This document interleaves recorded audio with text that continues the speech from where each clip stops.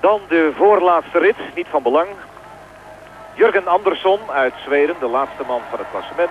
Tegen Notker Ledergerber, de Zwitser, die op de 21ste plaats staat. Nee, die Russen hebben het goed gedaan. Het was op zich ook niet zo verwonderlijk dat die zo snel uit de 1500 meter tevoorschijn zouden komen. Snetkov was tenslotte de beste man geweest op deze afstand tot nu toe in dit hele seizoen. Met een uh, schitterende toptijd van 1.53.50. En Garayev was de man van de derde seizoentijd op deze afstand tot nu toe. Maar Garayev heeft door die formidabele explosie op de 1500 meter in ieder geval nog voor een niet verwacht succesje gezorgd. In die zin dat hij in het klassement omhoog geschoten is. En daardoor zelfs nu zo hoog is gekomen dat hij alsnog waarschijnlijk een startplaats op de 10 kilometer heeft binnengehaald. Naast Jermolin dus waarschijnlijk ook Garayev straks nog in actie. Ledergerber en Andersson inmiddels. Zeer teleurstellende Andersson die op het laatste moment aan het deelnemersveld moest worden toegevoegd omdat Gustafsson af moest haken. En daarin niet verder is gekomen dan de laatste plaats na de eerste dag.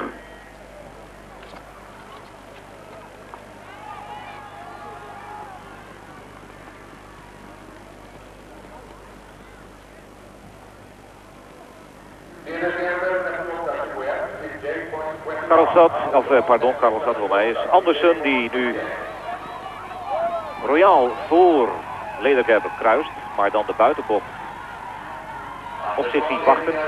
En ongetwijfeld de Zwitser dan binnendoor en onderdoor weer voorbij zal zien komen.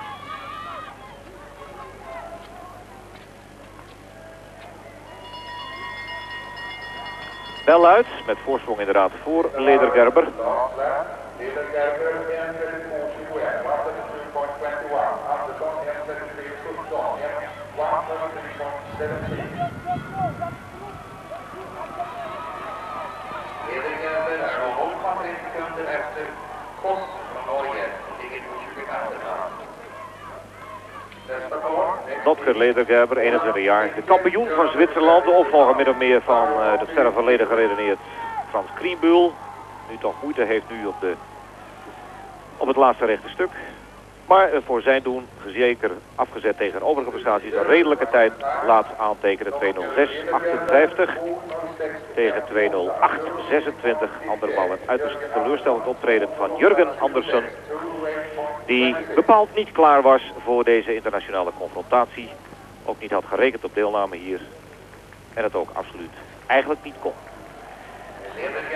21e plaats in het klassement verlopen voor Ledergerber. 28e voor Andersson. 30e na twee afstanden. Maar er moeten nog twee rijders komen. En dan zal andermaal voor de naam van Andersson het nummertje 30 oplichten. Laatste rit is een rit die van belang is. We gaan kijken zometeen naar de nummers 1 en 2 van de 500 meter van gisteren. Olaf Zinke, de Oost-Duitser. En Fabio Monti